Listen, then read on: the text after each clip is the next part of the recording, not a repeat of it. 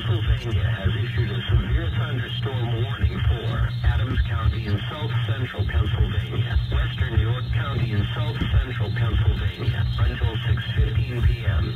At 5.35 p.m., Doppler radar indicated a line of strong to severe thunderstorms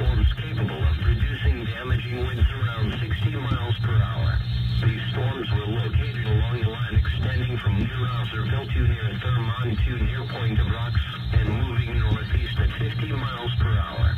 Locations impacted include Weigelstown, York, Parkville, Hanover, Gettysburg, Lower Allen, Lake Heritage, Valley Green, Shiloh, Bonneauville, Littlestown, McSherrystown, Siddonsburg, Benville, Hampton, Glen Rock, York Airport, Lake Meade, Cashtown, and. This includes the following interstates. The Pennsylvania Turnpike between mile markers 240 and 241, and from mile markers 243 to 245.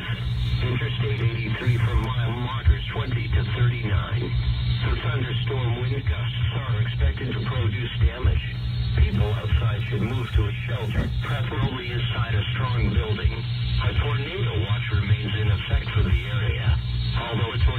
not immediately likely,